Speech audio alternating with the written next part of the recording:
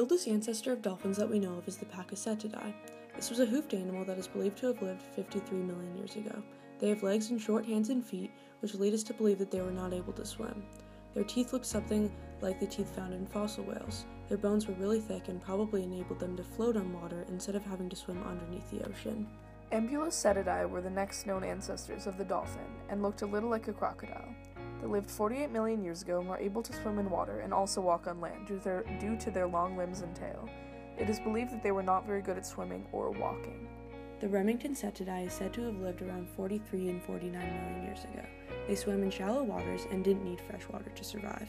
Next, Protocetidae were the first to leave the Indian subcontinent and live in all shallow, shallow ocean waters. They lived 48 million to 35 million years ago, and their nasals were large and located halfway up their snout. Due to their large eyes, they could detect prey underwater a lot easier than ever before. Their limbs were not that useful for swimming, and the flukes they may or may not have had are still used by modern day whales today. Glossoridae and the Dorudontinae existed 41 to 35 million years ago and were as big as some modern day whales. They only lived in the water, like today's whales, but they didn't have a lot of the same characteristics as our whales, though their skeletons looked very similar. Next are the Mysticeti or baleen whale.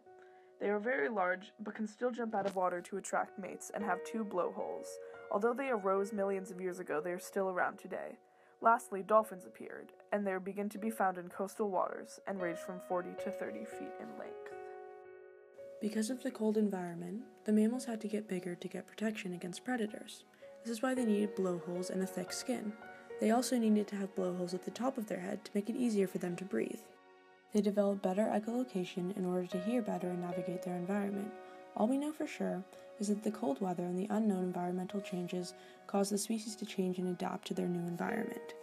Natural selection in this specific species took place when animals that were better equipped to swim and live in the water, which they discovered was a better way for them to live because there was more access to prey and other such necessities, um, were the ones that continued on to reproduce and pass on the traits of being able to swim better along to further generations, which ultimately turned the entire species into aquatic based species. The end result of this evolution chain is a dolphin. Their family tree is vast and long and is a good example of how species evolve over millions of years and of ancestors that, with an untrained eye, seem to be a completely different species. Understanding evolution helps us fully grasp our role in the species that live in it. Evolution impacts our lives because without it, many species would likely be extinct because adaptation helps the organisms of our world survive and reproduce in the constantly changing environment.